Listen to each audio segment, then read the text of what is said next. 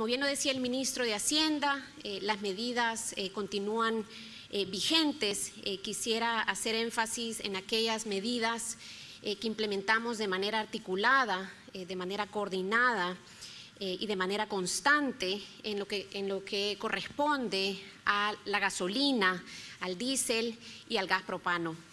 comentarles que sigue vigente hasta agosto de este año eh, la exoneración, es eh, decir, la eliminación temporal del impuesto de Cotrans y FEFE eh, que, se, que, se, que, se, está brindando a la población para poder evitar ese, ese costo alto en la compra de su gasolina. También, como recordarán, el pasado mes de abril se trabajó de la mano con la nueva Asamblea Legislativa eh, para asegurarnos que los precios se mantuvieran, los precios de la gasolina y del diésel se mantuvieran constantes a esos precios eh, de abril.